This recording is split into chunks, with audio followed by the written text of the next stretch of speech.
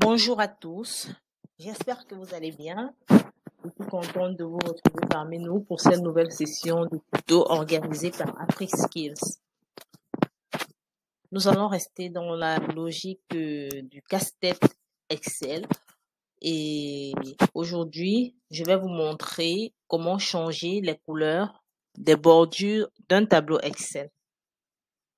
Donc, si vous avez, si vous souhaitez personnaliser vos différentes créations dans Excel en ajustant la couleur de vos tableaux, c'est très simple. Nous allons voir ensemble comment faire. C'est parti.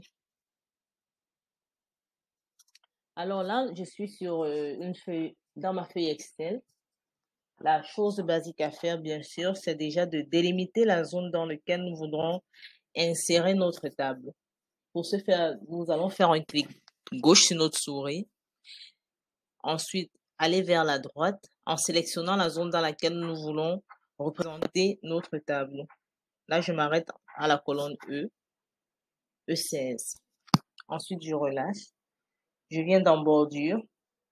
Je choisis euh, toutes les bordures pour avoir un tableau standard avec des lignes égales. Ensuite, je peux euh, changer la coupe. Pour changer la couleur, nous allons commencer par les bordures extérieures.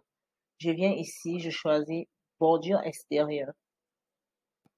Ce qui veut dire que c'est cette zone qui sera affectée par le changement que nous allons opérer par la suite. Ensuite, je viens ici où il y a le petit crayon sur la droite.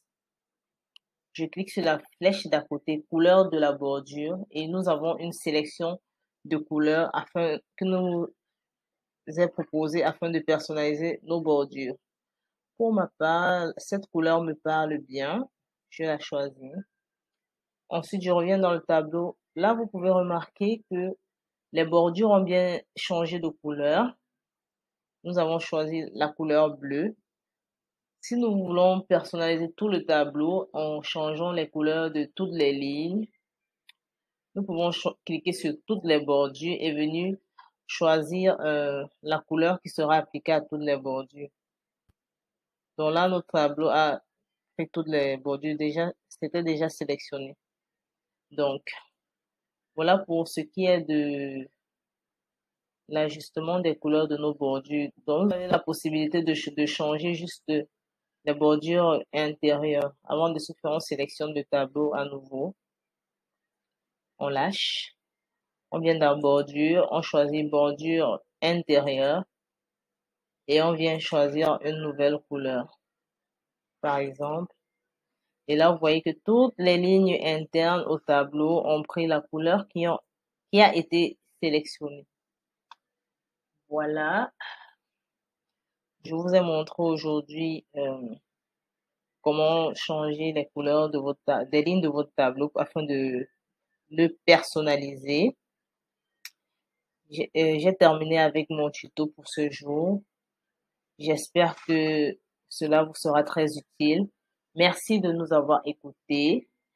Euh, je vous invite à activer la cloche de notification pour plus de tutos et à vous abonner. À bientôt dans notre prochain tuto.